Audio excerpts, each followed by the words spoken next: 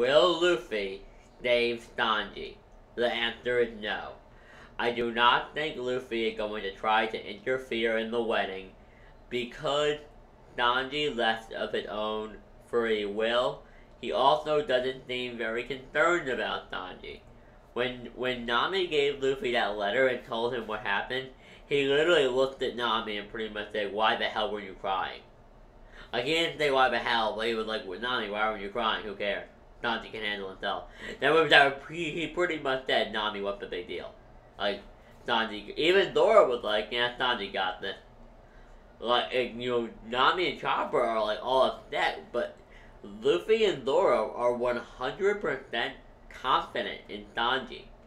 Like, Luffy's not worried. Now, I don't want to make it out like Luffy this, or Oda is or anything. I don't want to bring a sentiment into this.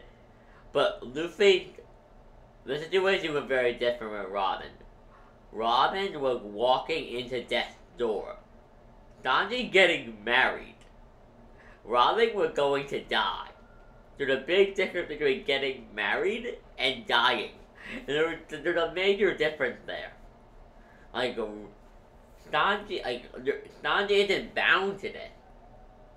Like, he doesn't care. I mean, what I personally believe is that Luffy may start. Luffy may end up saving Sanji indirectly, because he'll pro- once he realizes that he'll be indirectly become uh, Big Mom's underling.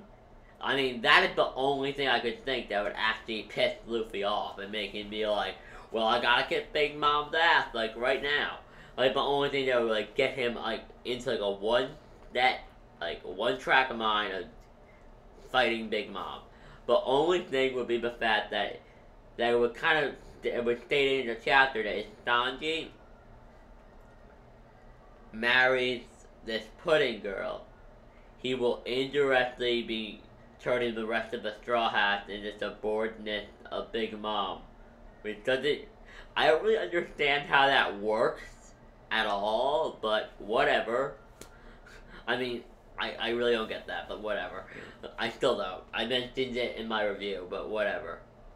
But the thing that I believe it really is that what may happen is that, as I mentioned earlier, Luffy will be going to attempt to save to a big big mom who'll like crash the wedding and be like, "You can you two can get married for all I care. I need to kick big." Luffy will go. He won't even. He probably won't even crash the wedding who'll show up and be like, hey, big mom, I'm here to kick in your ass. Because once I beat you, you'll, and then Sanji can marry the girl and do whatever he wants. Because we, then Sanji can marry the girl, and you'll become my underling, get all kicked in your ass. Like, this is the way Luffy would think. He just, all Luffy I see Luffy being concerned with is not being Big Mom's underling. Sanji said he'll be back. Luffy and Zoro trust Sanji. I'm emphasizing Zoro because it's Zoro, because Zoro trusting you in terms of power says a lot.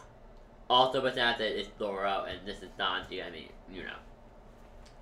But guys, I hope you enjoyed the video. Please tell me your thoughts on whether or not Luffy will be interested in saving Sanji, or end up saving him indirectly, or whatever theories and predictions you have, with overall thoughts in the comment section down below.